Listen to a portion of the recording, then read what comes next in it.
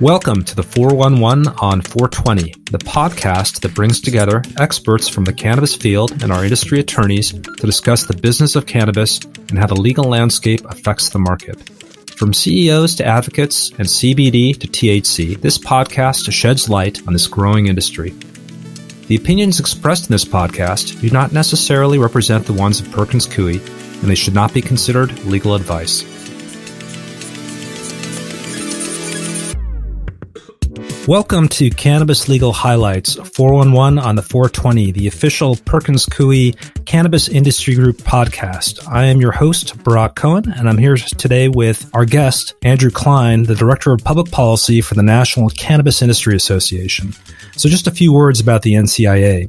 It was founded in 2010, and it's the youngest and largest cannabis trade association in the U.S and the only organization representing state sanctioned cannabis related businesses at the federal level. Its mission is, and I quote, to promote the growth of a responsible and legitimate cannabis industry and work for a favorable social, economic, and legal environment for that industry in the United States. And it's described itself as the only industry led organization engaging in industry efforts to expand and further legitimize the legal cannabis market in the U.S. And today, Andrew is going to talk to us about his job, the state of the cannabis industry at large, and hopefully some of his well-informed predictions about what's going to happen in the cannabis industry. Just to give you full disclosure, I sit on the NCIA's policy council, which makes me incredibly biased both with respect to the NCIA and also with respect to Andrew.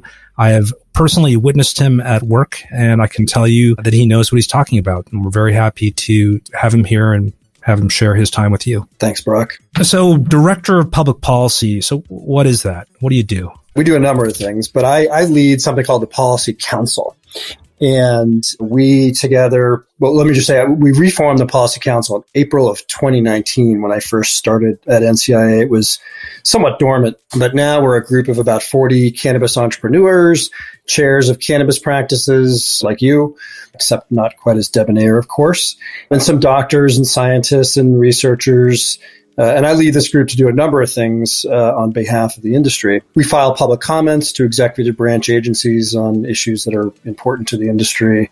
We draft uh, white papers on issues ranging from a federal regulatory plan, which we published October of 2019, to you know what we think the effective uh, tax rate should look like to the medicine of cannabis, which is a paper we're working on now, all to inform and influence members of Congress and executive branch agencies, industry stakeholders on matters critical to the future of the industry. We've also stood up task forces to address critical issues. So uh, last year we set up a task force on, on safe vaping and on the illicit uh, market crisis that the industry has been dealing with. We provide technical assistance to Congress. So whenever Congress has questions uh, or wants assistance on legislation, we do that. And we produce events. Uh, yesterday, we produced a public policy summit. So we brought together all of the state regulators and about 70 cannabis executives to have a conversation about harmonizing state regulations and, and what happens when the federal government finally steps in, you know, who, who has what piece of the pie. And I used to do regular public speaking, but that's, that's all dried up because of COVID. So, so I, I want to put a pin on your efforts at influencing for a second because that really, really interests me. But before we get to that, I think the natural question for me anyway is how do you get into that? What have you done to prepare yourself for the role? You know, in some ways, I've, I've been prepared by every job that I've, that I've had. You know, I've, I've spent my entire career kind of bouncing between public policy and law. And uh, certainly my time in, in two branches of the federal government gave me a window into how the sausage is made. On the law side, I spent 14 years at DOJ where many of the cannabis decisions are being made. And I, also spent a considerable amount of time in public policy roles. So I worked for, for Biden when he was in the Senate and I worked for Biden when he was uh, vice president. I also led public policy for the GoDaddy operating company, which is a domain name registrar. And I taught public policy at American University. And I always say every time I speak that I'm also a student of uh, democracy. And my feeling is that Thomas Jefferson would be doing backflips if he could see this democratic capitalism flourishing in 36 states. So it's all just, you know, every piece of my career has, has just is colliding at the same time. Was it a planned thing or was it just something that happened fortuitously? It really wasn't. You know, I was, I was, uh, I had, I knew nothing about the cannabis industry three and a half years ago. And I was sitting in my office working at the FCC on an investigation and my phone rang. And it was, you know, a call from a recruiter who said that there was a new self-regulatory organization that was being formed and they were looking for a former federal prosecutor to run it. And at the time, you know, I had no plans to enter the cannabis industry, but my wife was an executive at Verizon and was, she was commuting from DC to New York. And it was, it was a hardship on our family and just not at all where I wanted my life to be. And she had said to me, half kidding, I think, but you know, if you're willing to move to Denver, uh, where my sister is, I'm, I'm willing to leave my job. And so it, it became apparent that, that this SRO position as president could be based in Denver. And so that was my, my first, you know, the, the thing that I found, at least initially intriguing was I could get my wife to slow down and we could move to Colorado. But then as I started thinking about it, you know, it just, it made so much sense because you know, I've spent my life in law enforcement and public policy, and this was this was a marriage of, of everything. Mm-hmm. Actually, I'm reminded of something that one of my professors told me in law school, and and some of you may know I'm a veteran. I used to be a professional soldier, went to West Point, all that stuff, and that all happened obviously before I went to law school. And so I was complaining to my professor about how difficult certain paths I wanted to take would be after law school, and he he slowed me down. He said, you know, you, you, have to stop thinking of your professional life as landing at Omaha Beach and fighting your way to Berlin. Things happen along the way. Opportunities open. It's a meandering path and you have to be open to it. Um, and I, I, and just echoing what, what you just said, I certainly could not have predicted where I am today. Even, even in law school, I had no idea that this would be the path I would take. Certainly not when I was in the army. Yeah, it's actually really good, great advice. You know, I, I've, in the past had the view that people who had very linear careers were, were more successful. You know, someone who knew that they wanted to be an employment lawyer, for instance, you know, right out of law school. But for me, that wasn't the path I took. And, and it's, I think I got a little bit lucky, but all, all things seem to be kind of heading in the, in the, in the right direction. Yeah, I think so. Um, certainly, you're here doing the podcast, so I think so. It's all kind of brought you here. Um, so here, here's the piece I'm interested in and your role uh, uh, in public policy. So actually influencing people who can pull the levers of power. Does it work? You know, I have this vision of people in public policy. Sometimes when I'm being especially cynical, it seems like an echo chamber, um, an, echo chamber with, with white papers, you know, flitting around the room. Mm-hmm. Look, I mean, lawyers and policy experts like to talk and they certainly like to talk to each other. And, you know, we saw some of that yesterday when, when we had this summit. And that's, you know, that's a challenge. But I think for people who really understand uh, what public policy is, they get that it does impact the bottom line of companies um, and the public perception of companies. And for CEOs who really understand that, it becomes critical work on, on, on the private sector side. And then for Congress, you know, I think it's, you know, democracy is an active sport. And and Congress has some expertise on some issues, but not expertise on every issue. And they really need the expertise of the outside private sector to educate them. And I think the MORE Act is, you know, a pretty good example of that. It's, it's, it's a good bill, but it's not a great bill in, in its drafting and could have used some expertise from people like you. Mm-hmm. So you brought it up and it was going to come up anyway, the MORE Act. So this is a very timely conversation. For people who may not know, can you explain what the act is and why, at least symbolically and maybe more than symbolically, although you and I, I think need to kind of unpack that, why it's important? Yeah. Look, I mean, the MORE Act is a descheduling bill. And that, it, to me, is the most important piece of the puzzle for the cannabis industry. And we can get into that in a minute, you know, why I believe that we have to deschedule ultimately in order to be successful. You know, this bill did a couple of important things. It it descheduled cannabis, but it also provided some relief for those who have been impacted on the war on drugs, and, and that's really critically important um, as we move forward. Unfortunately, about 48 hours or, or, so before the bill was introduced, there was an excuse me before the bill went to the floor, there was a manager's amendment that was introduced that created some new federal criminal penalties that prohibited people who have a prior felony conviction from entering uh, the cannabis industry, which is kind of antithetical to to the whole purpose behind descheduling and a descheduling bill. And so, you know, I think we made we made some some steps forward this week, but it also became readily apparent that the industry needs to coalesce and we need to start helping Congress a little bit more. Well, that's that's interesting. What what do you mean by coalesce? And I mean, I think what you're talking about are fracture lines in the industry. What are the fracture lines, and how does the industry coalesce despite the fra- the fractures? So, you know, it's a great question. There there are there are a few different buckets of groups in the cannabis industry. There are multi-state operators. There are craft cannabis companies, which are going to be increasingly more important. You know, intellectual property and brands are going to be very important as we move forward. There are very educated consumers, and then there are very educated and very passionate advocates.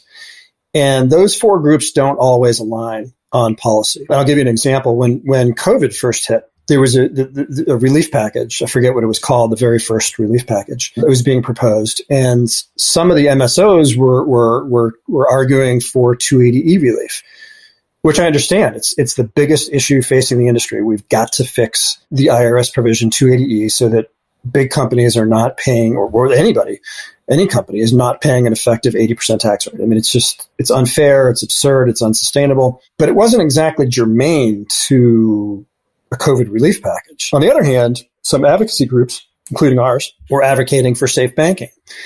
And to me, that made a lot more sense because we're in the middle of a pandemic. We've got an industry that's relying on cash, which is dirty. We had governors who were allowing transactions to take place in parking lots because they didn't want people going inside. And so you had cash transactions happening in parking lots, which was sort of both dangerous uh, from a public safety perspective, but also unhealthful from a public health perspective. And so it seemed to me, at least, readily apparent and obvious that the, the germane issue was safe banking. And so my point is, you know, it would have been more helpful for the industry to be coalescing around one issue and lobbying Congress on that one issue because unless we're in agreement on what we want and we're all going after it, Congress is never going to know what to prioritize. So, you know, I'd like to see the industry making concerted efforts to row in the same direction. So, an interesting question I think related to that is social equity. And we had Natalie Papillon from the Last Prisoner Project. She did our second podcast and, and Yoko Miyashita of Leafly did our first. And I've been making a concerted effort to talk about social equity in, in each of these because I think it's important objectively. It's my little contribution. But there are people who say that overemphasis on social equity really holds back the industry with respect to legalization. And let me be clear, I don't think I've ever heard anybody say, yeah, the social equity stuff is just a bad thing. They're they're talking from a pragmatic perspective. No, of course, of course. And you know, it's you just you just stated it very plainly. And it's it's true that it is a challenge because we have two things going on at the same time.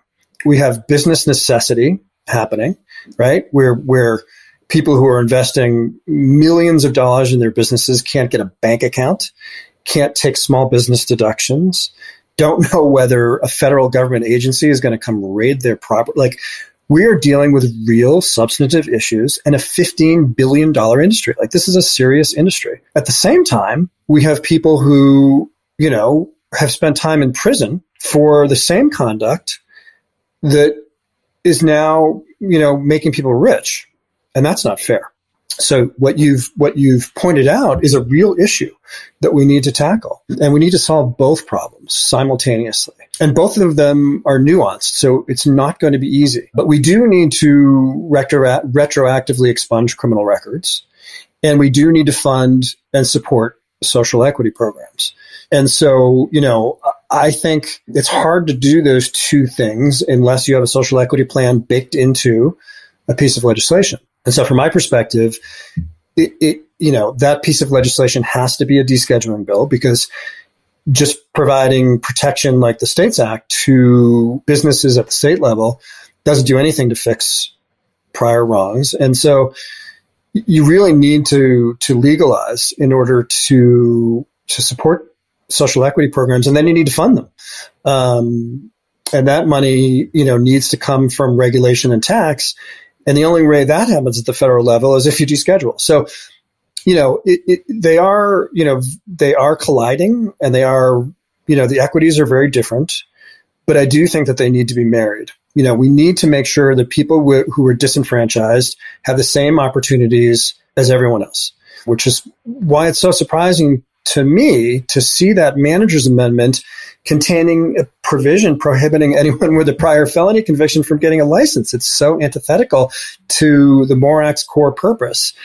We can't seriously debate cannabis reform, I don't think, without seriously debating criminal justice reform or social justice reform.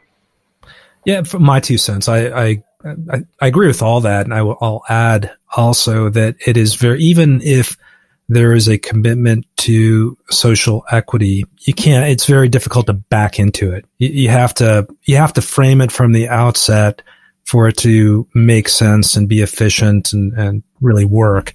Much much harder to back into it. I know at least one of the states has tried backing. I'm trying to remember which state it was. Backed into it rather than baking it into um, legalization, and they've had a they've had an enormous, enormously difficult. I think it's Washington. Washington backed into it, I believe. So Massachusetts looked forward, uh, and you'll you'll correct me if I'm wrong. I'm sure. Um, Massachusetts decided more or less from the outset that social equity was the way to go, whereas Washington, when it legalized, backed into it and has had difficulties for that reason. Yeah, and I know you know Illinois baked it in early too, and, and they've been doing you know, I think objectively a good job at, at trying to move the ball forward, but, you know, still lots of work to do. Yep, for sure. So, what about other areas? What so we've talked about the Safe Banking Act, which, by the way, is you know legislators have been talking about for a long time. And there's been bipartisan bipartisan support voiced uh, for voiced in terms of its importance, and everybody, my God, FinCEN has guidelines for for for marijuana banking. You know, even though it's putatively illegal. What's uh, what's keeping that from happening? It seems so obvious. You know, Barak, it's a great question, and I just don't. I don't understand it. I really don't. I don't understand the politics of this issue. It's it's you know we talked about this before. It's unsafe to operate an all cash business. It's unsanitary to operate an all cash business. Medical cannabis is legal in 36 states at this point. You know, the United Nations has has rescheduled uh, cannabis. The House passed banking overwhelmingly, like bipartisan vote. And you know, it, it's time for Congress to act on this issue. I think that this is the one issue that could see bipartisan support in the next Congress in 2021 partially because Mike Crapo will be gone, and it, it's looking like Pat Toomey will be taking over if the if the Republicans take over the Senate, and he is not going to run for reelection in 2022. So I think there's some opportunities for the cannabis industry, you know, to work with with Pat Toomey, who, who has signaled too that that he may be open to having this conversation. But you know, I don't. It, it just it just you know, you said it at the outset, Barak. I just don't think there should be a partisan issue. I can understand why descheduling would be a partisan issue, of course, or even a controversial issue, right? I mean, you're talking about legalizing something that's been a controlled substance for 30 years. I get it. But supporting a $15 billion, and by the way, I forgot to mention, we're going to be in a recession in, in January or February. You know, we're going to see 50% of, of restaurants going out of business, I think. And so we're going to need industries like the cannabis industry that have created 250,000 jobs and that have you know been pouring money into the you know state coffers. We're going to need businesses like the cannabis industry to help save our economy. And the only way that happens is if people open bank accounts. you know, it's not that complicated. So you, you've opened the door to the predictive part of our discussion, I think. What do you see happening going forward? In short, I think we're going to fare very well. I really do. It may take some time, but I do think we're going to be fine. In, in the short term, I think it's completely dependent on the election in Georgia.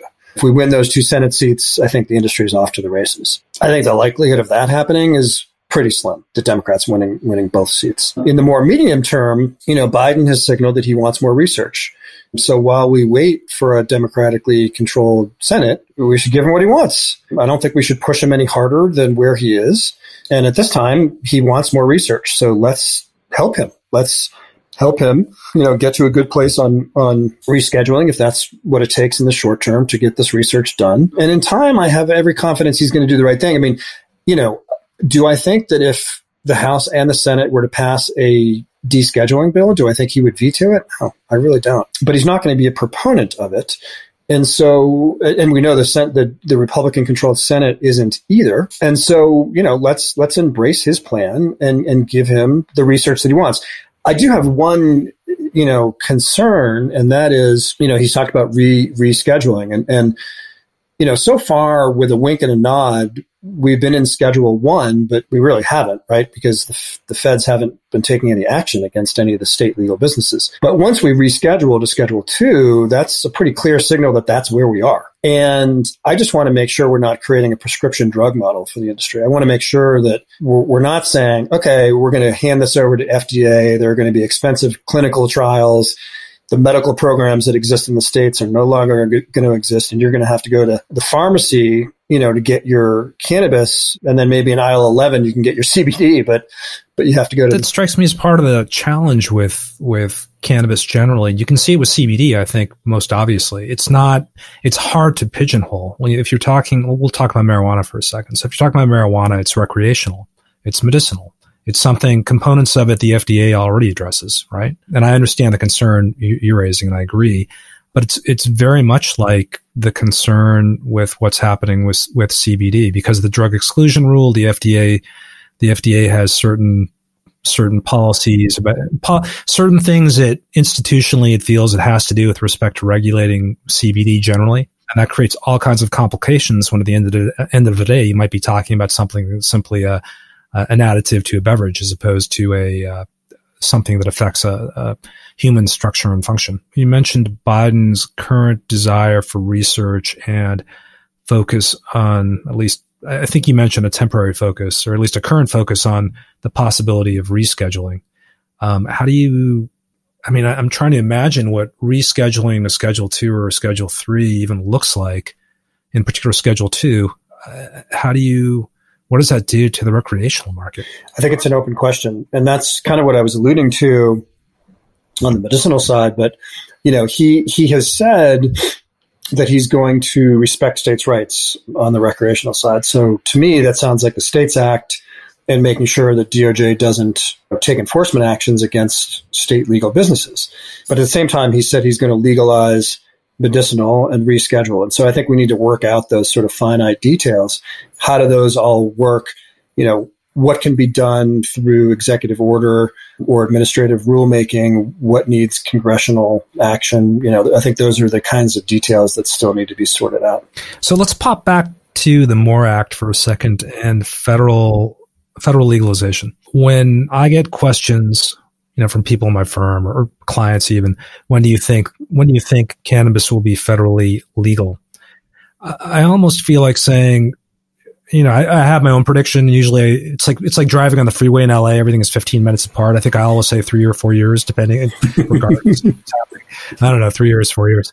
But I almost feel like saying, look, I don't know how relevant it's, of course it's important, but, and it'll be a huge boon to the industry but there's already an industry and it's already finding ways to function at the state level. And it's, um, and cannabis is already here and it's significant. So it's almost there. It, it always seems that there are more relevant daily questions aside from federal legalization, as important as that ultimately may be. Yeah, look, I, I agree to a certain extent um, that you know we've made a lot of progress without it, right? Without descheduling, without legalization, and so far, the federal government has taken a hands off approach to those state businesses. But we are still left in this conflict, this federal state conflict that makes it very difficult. We don't have interstate commerce. And, you know, that's important because, you know, for a manufacturer in, in New York, you know, it's expensive, right? To build a, a, a greenhouse um, or a, you know, indoor grow facility to lay out that kind of capital. When if we had interstate commerce, you know, people could be growing the best cannabis outdoors in California and Oregon and, and shipping it to New York. You know, 280E, as I mentioned earlier, is a huge problem, which, and, and there's some disagreement, I think, about whether 280E gets fixed if we reschedule to Schedule 2 uh, there's some thought that we would need to reschedule to schedule three in order for, for 280 to get fixed. You know, banking, we talked about er- earlier, social equity reforms, we talked about earlier. The DEA, we really don't want or need the DEA in cannabis you know, this is a public health issue. Uh, this is plant based medicine. And so we'd really like to see the FDA um, or a public health agency in charge of this. And, and unless you deschedule, the DEA remains in, in, in charge, um, or at least has a role to play. You know, so so there are myriad reasons why why we do need some legislative action. And I think in the first instance, it starts with what the president elect wants, and that's research. So, Andrew, we've been talking about the future, and I think it's impossible to talk about the future of the industry in particular without talking about the pandemic more broadly and how it has affected things. How do you think the pandemic will affect the cannabis industry? It's a great question, Brock. You know, I think I think it already actually has affected the industry. I mean, you know, we saw it when when COVID first hit. Most governors made cannabis essential, like gasoline and, and food and alcohol. And then since then, we've seen you know sales uh, have been through the roof for the past eight months, particularly here in Colorado and I know in California. And then, you know, we've seen governors loosening some restrictions around curbside delivery and home delivery and online uh, ordering. And, and I suspect that those kinds of things will probably stay in place because they're working. But, you know, come January, my guess is we're going to be in a recession and we're going to see some, you know, some industries really hurting, like the restaurant industry, I think could be in a real world of hurt in the spring. So I think the real question is, you know, h- how will our economy uh, be helped by cannabis? Because we're on pace to do $15 billion in, in revenue this year. We've created a quarter million jobs. We're on pace to do 34 million by 2024. And we have, you know, one of the most reliable, resilient, recession proof industries out there. And so we have to make policy decisions that support rather than hinder growth and then we'll be off to the races. So, you know, I think, you know, the pandemic has already affected the industry. And I think that the industry is going to have some positive impact on the negative impact of the pandemic, if that makes sense. Like, I think that because of the pandemic, pandemic, we're, we're seeing some negative economic implications. And I think the cannabis industry could be in a position to help. Andrew, thank you very much for joining us today. I hope you know we, we get a chance in the future to have you back to talk about the next big thing that happens in the cannabis industry. Thanks, Barak, and I appreciate your leadership uh, on the policy council and also as the chair of the cannabis practice from Perkins Coie. You guys are doing great work, and it's not going unnoticed. Thank you, and uh, thank you, and you're welcome. We're, we're glad to be involved. It's it's a real opportunity for us.